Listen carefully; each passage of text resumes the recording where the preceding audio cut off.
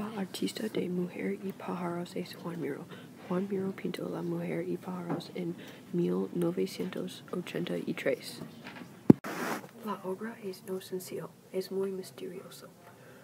La obra tiene muchos diferentes colores, azul, rojo, negro, amarillo y un color de el humo.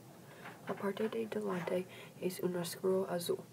Las figuras en la obra es único, afilado y círculos. Me gusta la obra porque es no sencillo. Las líneas es torcido. No me gusta la parte sobre. La parte es muy sencillo y no me interesa. Me parece gustar el centro porque es complicado y único. Este círculo son muy pequeño y negro y esta triángulo es brillante. Me abriré la parte por, por porque es sencillo. Bibliografía